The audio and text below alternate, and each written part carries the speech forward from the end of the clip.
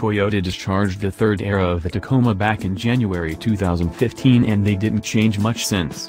So far they discharged a few new trim levels and they rolled out little improvements to the truck's inside. Be that as it may, there are presently gossipy tidbits about a far greater refresh.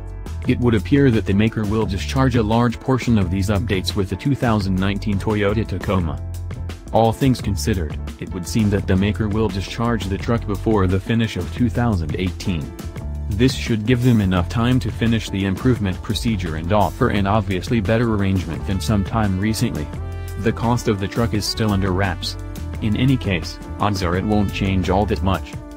From its looks, the new Tacoma will begin at around $40,000 with the range-topping models going for under $50,000. This should give them a battling chance against the future Ranger which is Toyota's most serious issues now.